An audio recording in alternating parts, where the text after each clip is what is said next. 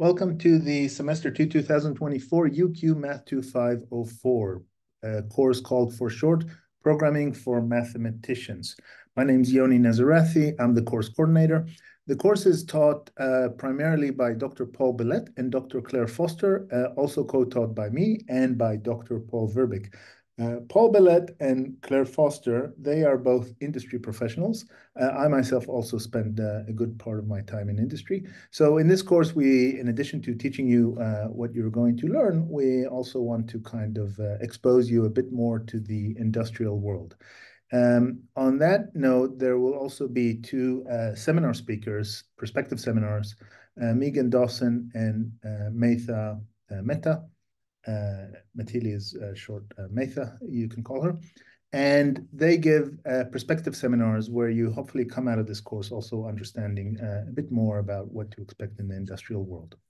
So what is this course about? Well, this course is a programming course in the context of mathematics. So we do it in the context of simulation and some numerical mathematics and some analysis, so some symbolic computation and also some learning or actually just some data processing.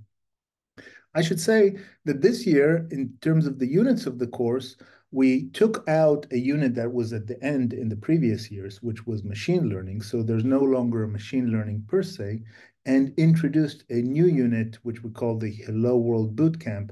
And that unit is really kind of a boot camp for programming, especially aimed at those that have never or have hardly programmed before in any form or shape.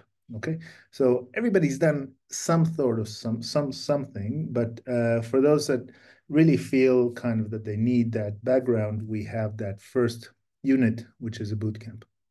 So keep in mind that if you look at previous year's courses, the unit numberings have changed because we're still using numbering one through eight.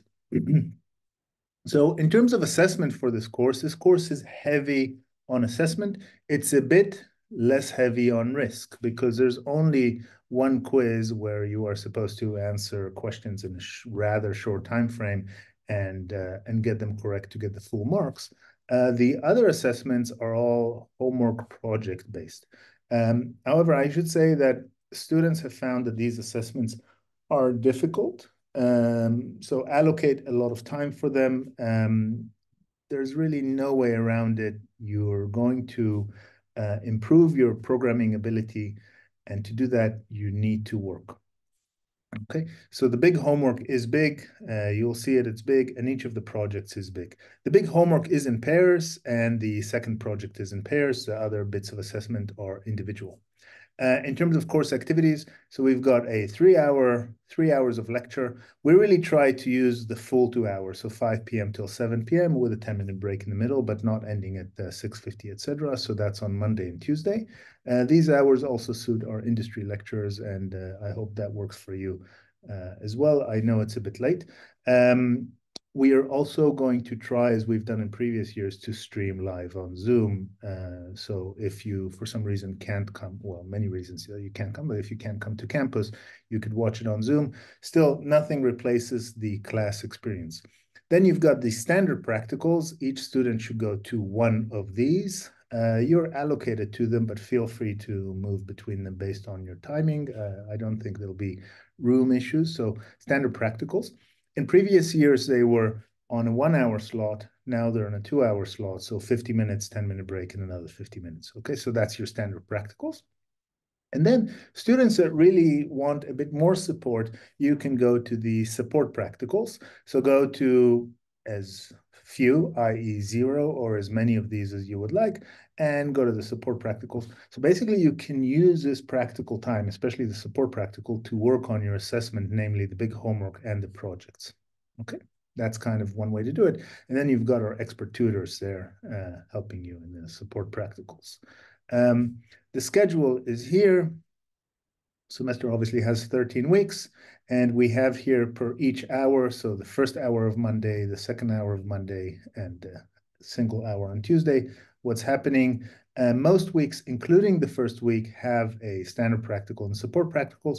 The weeks prior to homework submission or project submission, which is always on a Friday, except for this one, which is a, a Thursday, the November 14th is a Thursday, I believe.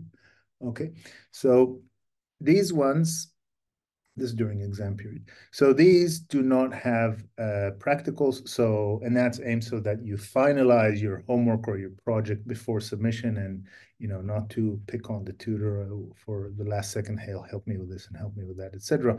You would have had enough time uh, to do the homework and the projects. But again, that's a lot of work. Um, consultation hours run weekly at this time feel free to join them as well if you need that extra support. Uh, so this is the content of the standard practicals and support practicals, etc.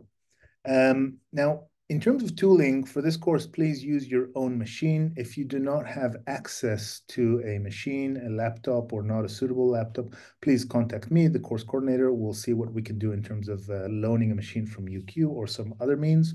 Uh, and please try to install and try and succeed and install Julia version 1.10.2 right now at the time of this recording 1.10.4 is the latest but just the latest julia do that as described in this video and please also watch this video for it. Okay so there's quite a lot of content uh, there and try to get julia up and running and do a one plus one in julia and get the answer of two.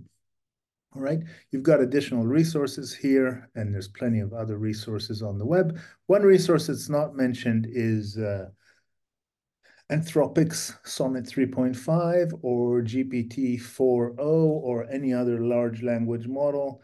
Uh, there's no way around it. The developers of 2024 and onwards, the software developers, use large language models, i.e. ChatGPT, etc., to help them do things. Um, if you need to do that, just do that.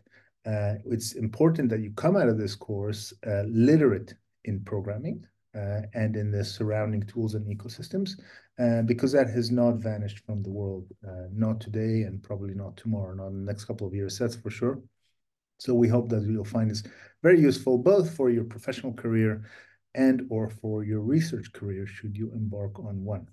Uh, looking forward to get to know some of you via the course. And I think I will leave it at that. Bye, everybody.